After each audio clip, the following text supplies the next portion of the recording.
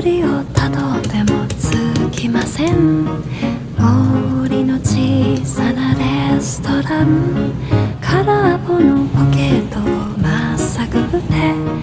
忘れた人からたどり着く。予約は一つもありません。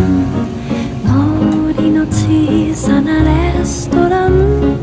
空席だらけのランチ時。小鳥がパタパタ笑ってる。チュルチュンチュンチュンチュンチュンチュルチュン。チュルチュンチュンチュンチュンチュンチュルチュンチュルチュン。